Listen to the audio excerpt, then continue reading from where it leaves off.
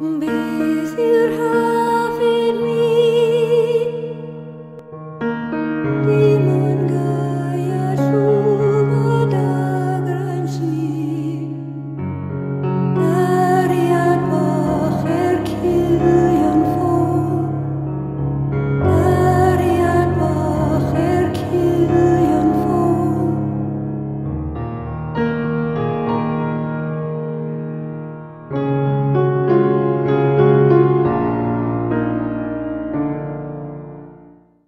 On January 4, 2009, the Kepler science team announced the discovery of its first five exoplanets.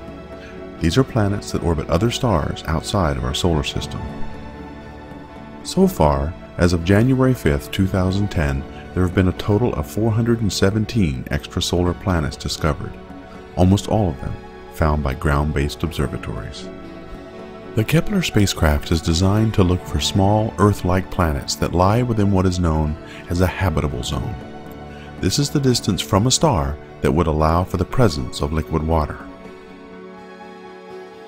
Kepler is looking at over 100,000 stars in one region of sky all at once, with the goal of finding planets with the potential for harboring life.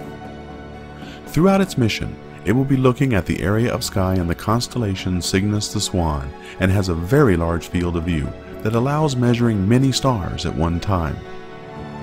By staring at the same spot in the sky for a long time, detailed measurements can be collected of all stars in the region and a record kept of their brightness and any variations that exist over time. While these first five planets discovered by Kepler are larger, Jupiter sized worlds, this discovery affirms that the systems on Kepler are working well and that the science team will meet its goals.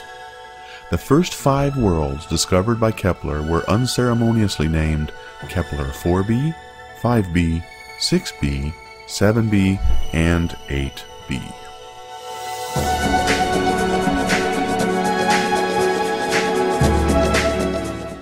Since we are very interested in finding life elsewhere in the universe, it makes sense to look for planets more like our own. Kepler's instruments are among the most sensitive ever created and are designed specifically for finding Earth-sized worlds. Kepler detects these planets by accurately measuring tiny dips in the brightness of a star as a planet moves in front of it to within 10 parts per million.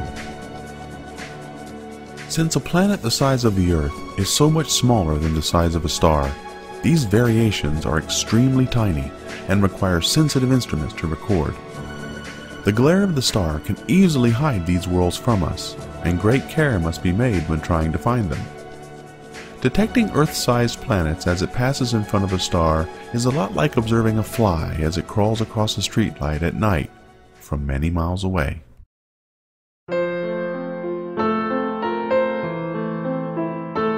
With Kepler, we hope to find many Earth-sized planets from which we can begin a systematic search for life elsewhere in our galaxy, and finally begin to answer the question, is there anyone else?